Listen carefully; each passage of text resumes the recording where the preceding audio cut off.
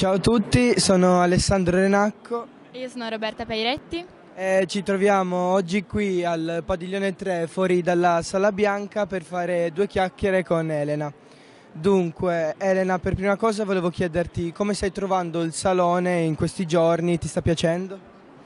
Sì, eh, quando fai gli incontri al salone, in realtà del salone mm, vedi e non vedi. Cioè, io ieri ho fatto in realtà l'esperienza abbastanza tragicomica di dover correre dall'oval fino al, uh, dall'altra parte e quindi ho semplicemente misurato le distanze, però mi sembra che stia andando molto bene.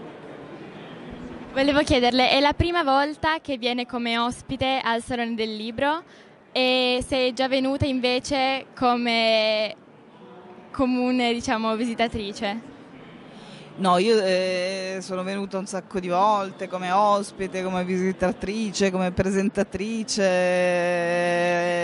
Devo dire che l'anno scorso, quando, che è stato l'anno in cui eh, sono stata invitata a, a, le nuove, insomma, delle iniziative come adotta uno scrittore, ho potuto apprezzare di più il lavoro complessivo che fa il Salone anche fuori dal, mm, diciamo dei, dei, dei, giorni del Salone stesso, dei giorni della fiera, chiamiamo così. Certo. Mentre noi sappiamo che lei è nata a Monaco, Monaco di Baviera. E da cosa deriva invece la, la vostra decisione, la sua decisione di trasferirsi qui in Italia?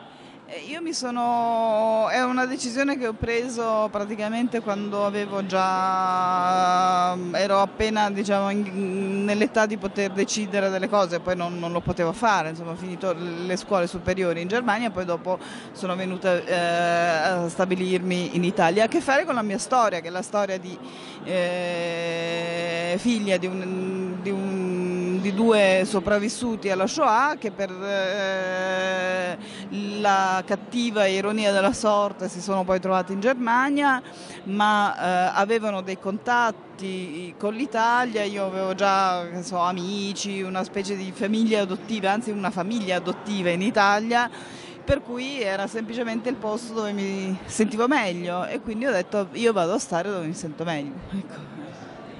Volevo chiederle invece, a proposito del suo libro Cibo, che appunto è stato appena ripubblicato con delle aggiunte, si ricorda quale avrebbe da dire il motivo principale per cui ha legato il cibo a tutti questi fatti che poi ha raccontato?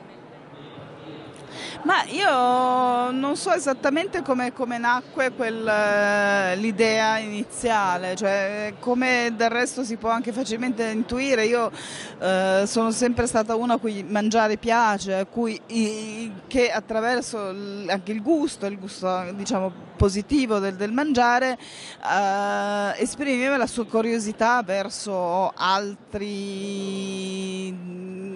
diciamo, altre, altri luoghi, altre usanze, altre...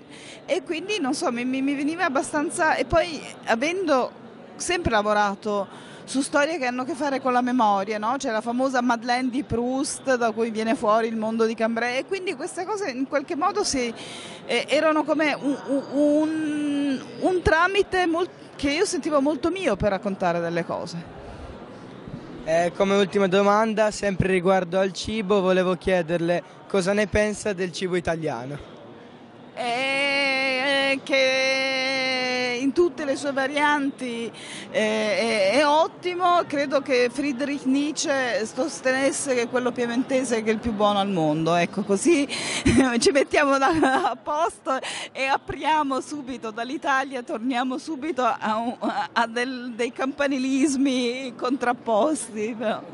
Eh, grazie mille, quindi la ringraziamo molto e la salutiamo.